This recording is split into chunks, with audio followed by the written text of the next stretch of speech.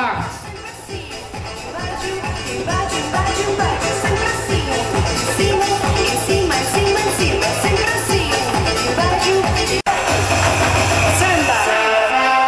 hoe krijgen hier dus een van die uh, absolute klasbakken vertrokken. We krijgen met zes rijden bij. Nationale kampioenschap.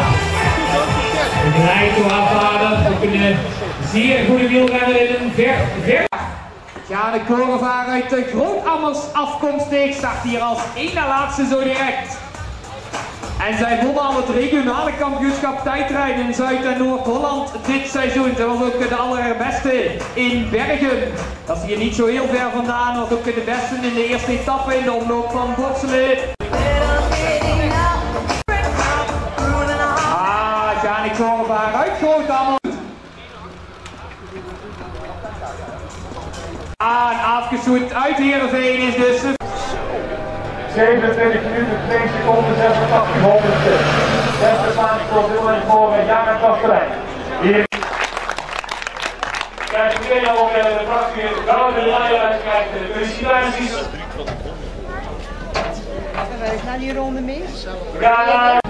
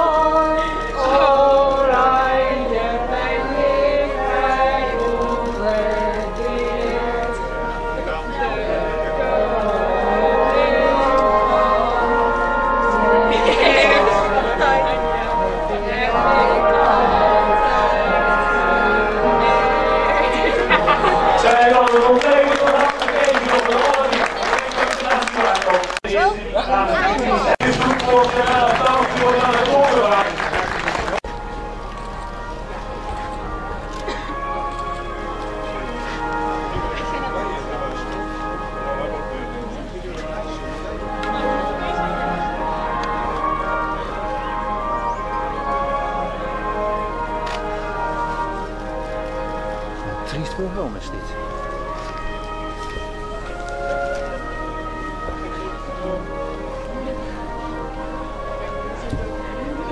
Ja, het doet zo langzaam op.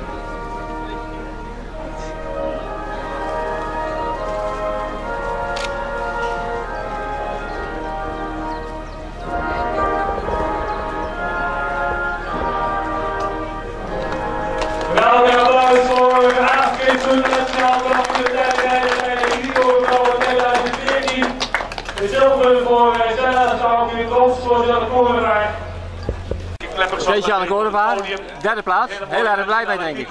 Ja, ik ben wel blij, maar ik had gehoopt op meer. Dus, eh, maar ik ben wel tevreden. Ja, het zat er niet in meer. Nee, ik heb alles gegeven, dus dan is het niet meer. Dus, eh, Goed Ja goed, eh, er staat ook hier een complete Nederlandse top. Dus, eh. Voor daarom. Aafke Dus, Soet. Die eh, gaat eh, ben ook voor de tevreden. Was het zwaar op het parcours?